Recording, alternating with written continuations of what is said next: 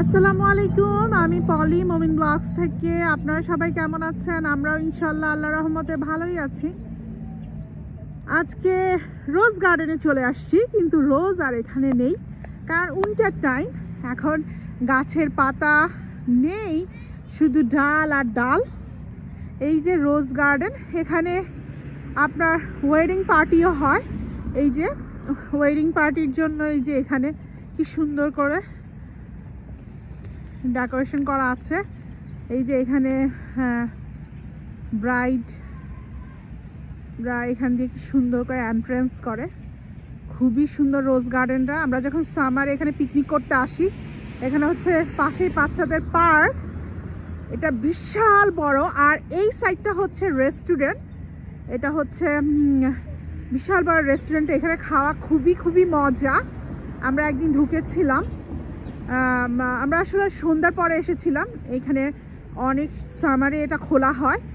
অনেক ভালো রেস্টুরেন্টটা। এখানে খাবারও খুবই মজা। আপনারা আসতে পারেন যখনই পার্কে ভিজিট করতে আসবেন।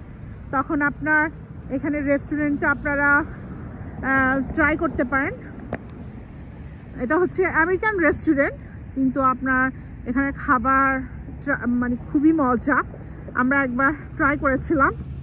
তো এই যে এখানে অনেক সুন্দর, আর এই এরিয়াটা বাড়িগুলো অসাধারণ অসাধারণ সুন্দর। আর এখানের মধ্যে সামারে আমরা খুবই খুবই এসে এনজয় করি। এখন উইন্টার টাইম আজকে ওয়েদারটা খুবই ভালো দেখে চলে এসেছি।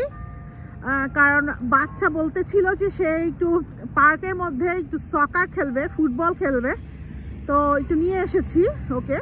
আমার বাচ্চাদেরকে নিয়ে এসেছি, ওরা অনেক টাইম এখানে প্লে করেছে, তারপর আমরা অনেক অনেক মজা করেছি, অনেক ভালো লেগেছে।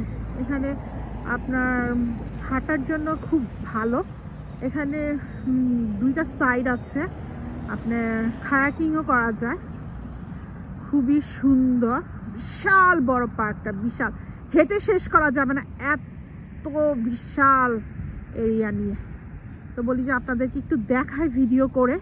এত সুন্দর। আর এখানে বাড়িগুলো তো অসাধারণ। লাক্সারিয়াস লাক্সারিয়াস বাংলো টাইপের বাড়ি মেনশন খুবই ভালো লাগে। তো আজকে বাচ্চাদেরকে নিয়ে, তারপর ফ্যামিলি মেম্বারদেরকে নিয়ে, সবাইকে নিয়ে ওয়েদার ভালো থাকার কারণে চলে এসেছি বেড়াতে। তো বলি যে আপনাদের সাথে একটু শেয়ার করি। তো ভালো থাকবেন, সুস্থ থাকবেন। আল্লাহ হাফেজ।